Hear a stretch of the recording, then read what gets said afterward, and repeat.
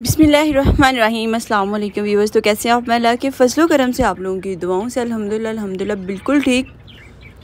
और दुआ करती हूँ कि अल्लाह ताला हम सबको बिल्कुल ठीक रखे, खुश रखे, आबाद रखे, आजमाइशों से बचाए, बीमारियों से बचाए, आमीन आमीन। तो शुरू करते हैं आज की रेसिपी। आज हम बना रहे हैं मटन पुलाव और साथ हम बहुत ही मज़े का जो है वो चटनी तैयार करेंगे, रायता तैयार करेंगे और साथ हम जो है वो तैयार करेंगे सैलड। बिसमीम सबसे पहले तो हम कढ़ाई में शामिल कर लेंगे पानी पानी अपने मटन के मुताबिक, और यहाँ आज पानी का मटका टूट गया, नुकसान हो गया, कहते हैं जो होता है अच्छे के लिए होता है। तो हमारे घर में ऐसा होता है कि जब कुछ टूटता है तो कहते हैं जी बला टल गई तो आज कुछ ऐसा ही हो गया, सारा किचन भी गीला हो गया। बिसमीम तो यहाँ पानी ज़रूरत के मुताबिक शामिल कर लेंगे।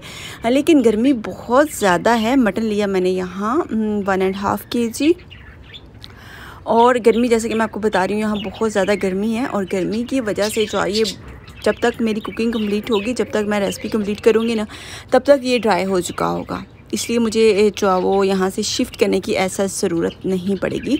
और मटन मैं यहाँ शामिल कर चुकी हूँ। और साथ ही साथ यहाँ शामिल कर देंगे बिसमीम नमक।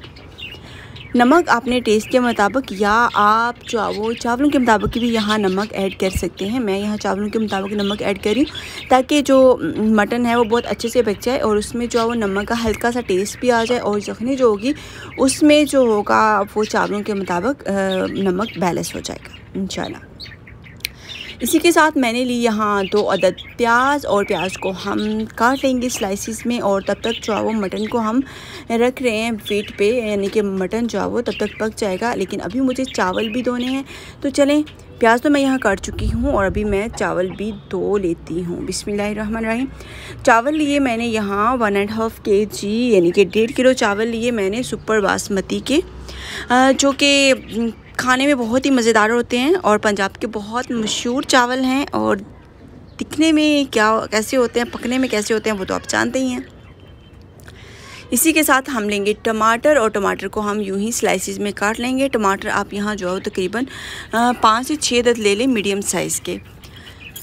तो यहाँ हमने लिया अदरक। अदरक जो है वो आपने लेना है तकरीबन डेढ़ इंच के राउंड बाउट आप ले लें और इसको आप जो है वो क्रश कर लें और साथ ही साथ जो है वो इसको हम क्रश करने के बाद क्रश कर लेंगे बाकी क्या लहसुन। बिसमीम तो इसको मैं करती हूँ साइड पे और लहसुन आपको दिखाती हूँ जो कि एकदम देसी, फ्रेश क्योंकि अभी अभी सीज़न आउट हुआ है, लहसन का और लहसन एकदम फ्रेश ही है अभी और यहाँ हम जो वो ग्राइंड कर लेंगे अभी जल्दी से लहसन को भी।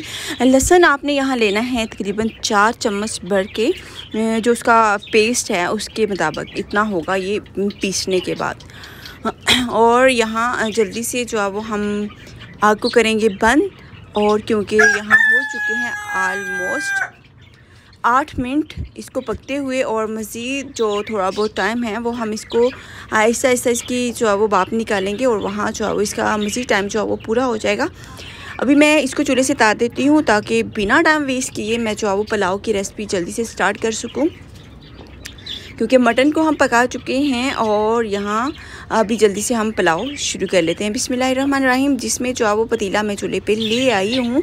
और इसी के साथ बिसमिल्लाम यहाँ शामिल कर रहे हैं। ऑयल ऑयल जो है वो, आप यहाँ पाँच बड़े चम्मच जो है वो शामिल कर लीजिएगा, या पाँच डोई के बराबर शामिल कर लीजिएगा। और यहाँ हमें चाहिए टमाटर। टमाटर भी एकदम फ्रेश हमने किचन गार्डन से ही तोड़े, जो कि आपको चाहिए दो अदद मीडियम साइज़ के और इसको आपने यूँ स्लाइसिस में काट लेना है। सारे दोनों टमाटर को आप स्लाइसिस में काटने के बाद यूँ आप इसको जो है वो फर्दर कट कर लेंगे और यहाँ हमें चाहिए प्याज। ऑयल यहाँ गर्म हो चुका है, जल्दी से बिस्मिल्लाहिर्रहमानिर्रहीम यहाँ हम प्याज शामिल कर देंगे ताकि प्याज साथ साथ फ्राई होता रहे और साथ साथ जो है वो हम लोग कटिंग भी करते रहें मतलब कि हमारा काम आसान भी हो जाए और शार्ट टाइम भी हो जाए। तो अभी हम टमाटर को कुछ यूँ करके बारीक बारीक से काट लेंगे। याद रहे कि आपने इसका पेस्ट हारगिज़ तैयार नहीं करना, आपने इसको इसी तरह से काटना है और इसी के साथ हमें चाहिए एक अदद प्याज और प्याज को भी हम यूँ ही स्लाइसिस में काटने के बाद फर्दर इसकी जो वो चॉपिंग कर लेंगे, जो कि आपने छुरी या टकुए या छुरी या टकुए की मसे ही करनी है। तो यहाँ हम जो है वो इसकी भी साथ साथ कटिंग करते रहेंगे और प्याज अभी फ्राई नहीं हुआ, बल्कि हो रहा है।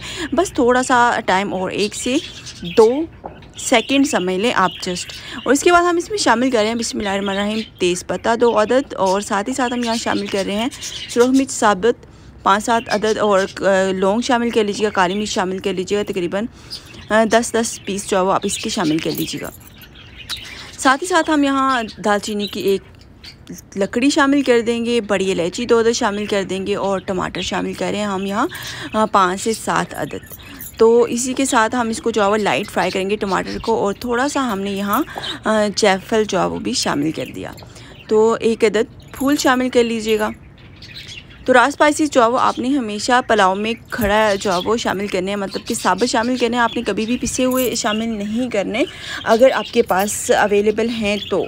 इसी के साथ हम यहाँ लहसुन शामिल करेंगे। बिसमीम लहसुन शामिल करने के बाद हम यहाँ शामिल कर रहे हैं अदरक।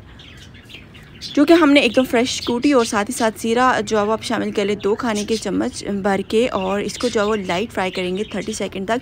क्योंकि आपके पुलाव में इसका टेस्ट आना चाहिए अदरक और लहसुन का।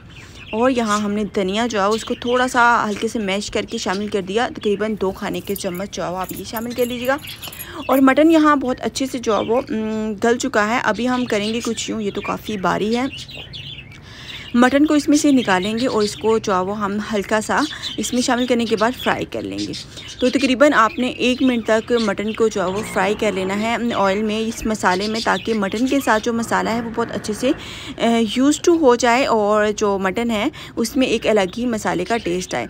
और यहाँ हम जल्दी से एक सब्ज़ मिर्च लेंगे उसको यूँ स्लाइसिस में काटने के बाद, इसकी भी हम फर्दर जो है वो, यूँ ही चॉपिंग कर लेंगे, जिस तरह से हमने प्याज और टमाटर की की।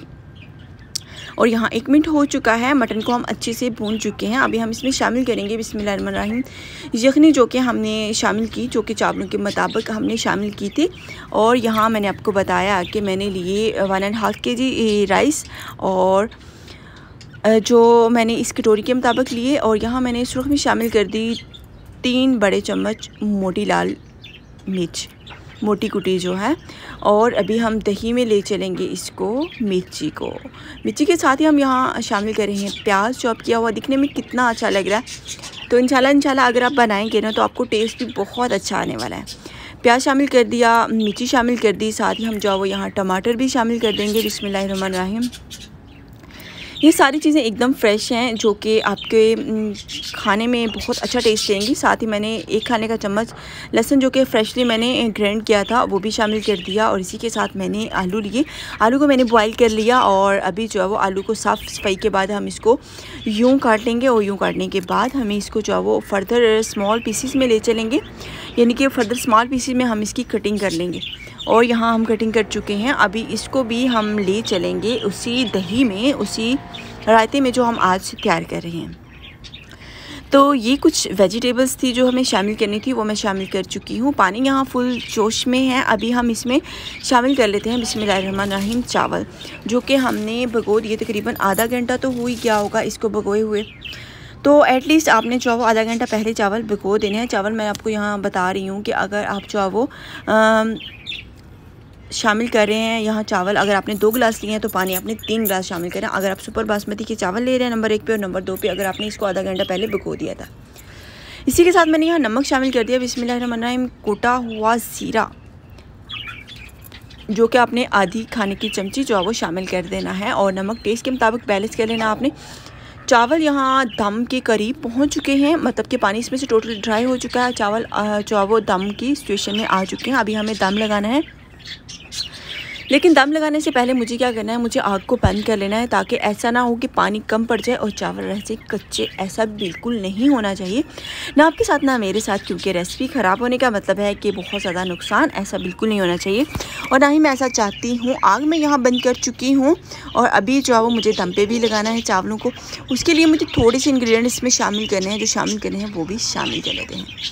बिसमीम जिसमें पेश नज़र है, सबसे पहले हम यहाँ दो चार जो है सब्ज़ में शामिल कर देंगे और उसी के साथ जो है हम यहाँ शामिल करेंगे। थोड़ा सा फ़ूड कलर जिससे जो इसकी लुक और भी ज़्यादा अच्छी आएगी और टेस्ट भी इंशाल्लाह तो बहुत ही अच्छा होगा इसका। तो यहाँ मैं दम लगा चुकी हूँ, तकरीबन आठ मिनट तक इसका दम चलने वाला है। तब तक मैं जल्दी से सैलड को तैयार कर लूँगी। सैलड के लिए मैंने ली यहाँ एक गाजर और गाजर को आपने यूँ जो है वो स्लाइसिस में काटने के बाद फर्दर चॉप कर लेना क्योंकि आज है पुलाव तो पुलाव के लिए आपको चाहिए बारीक बारीक कटा हुआ सैलड अगर आप यहाँ मोटा सैलड रख लेंगे तो मज़ा भी नहीं आएगा और वो टेस्ट भी नहीं आएगा आपको, जो पुलाव के साथ आपको सैलड का आना चाहिए। तो यूँ आप जो है वो इसको सर्विंग के टाइम जो है वो प्लेट के साथ एक साइड पर जो है वो जब रखेंगे ना तो बहुत अच्छा लगेगा और खाने वाला जो आसानी से इसको इन्जॉय कर सकता है। थोड़ी सी मैंने बंद गोभी ले ली, उसको भी मैंने यूँ ही बारीक काट लिया। तो माशाला से पुलाव जो है वो तैयार हो चुका है, कितना अच्छा लग रहा है। अल्लाह ताला इसके खाने वालों को, देखने वालों को, बनाने वालों को सेहत तंदरुस्ती दे, ज़िंदगी दे, आमीना।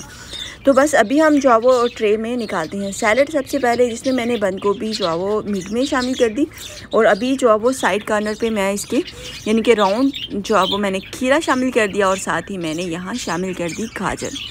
तो प्लेट ऐसी कितनी अच्छी लग रही है। अभी हम लेंगे एक अदर लेमन। और लेमन को हम बराबर चार हिस्सों में काट लेंगे, जिससे इसका जूस निकालना बहुत आसान हो जाएगा और कटिंग देखने में भी अच्छा लगेगा।